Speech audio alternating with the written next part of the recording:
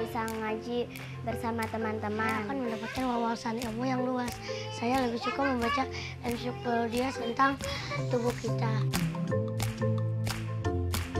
Menjadi pengajar muda itu saya belajar banyak hal. Pada intinya be- belajar menjadi seorang pemimpin. Kalau kita sama-sama membagi ilmu, akhirnya ilmu kita tidak, tidak lupa gitu kan. Kecerdasannya cerdas dari intelektual ataupun spiritual Kira karena anak-anak adalah energi, bagi kami berdua. Saya merasa saya sudah memiliki mereka, mereka sudah memiliki saya.